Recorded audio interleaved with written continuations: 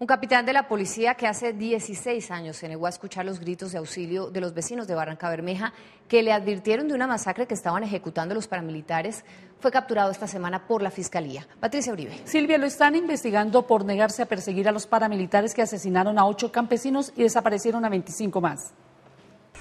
16 años después de la masacre de ocho campesinos y la desaparición de 25 más en Barranca Bermeja, fue capturado un capitán de la policía. Se acaba de producir la captura del coronel eh, Mario Camacho, Mario Augusto Camacho Avellaneda, que era el comandante de la policía en Barranca Bermeja para la época de los hechos del 16 de mayo del 98, por homicidio eh, agravado y desaparición forzada agravada.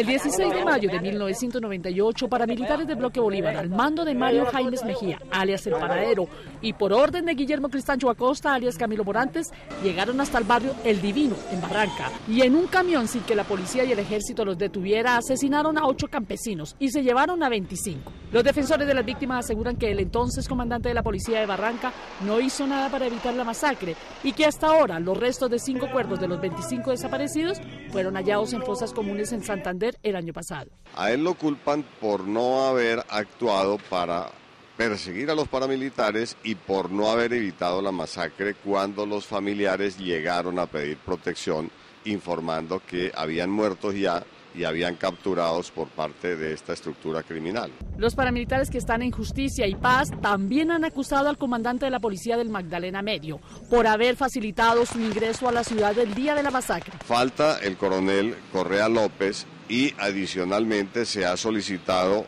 una vinculación de cerca de 14 miembros de la fuerza pública. Hasta la fecha, tres militares, dos policías y 22 paramilitares están capturados por la masacre del 16 de mayo.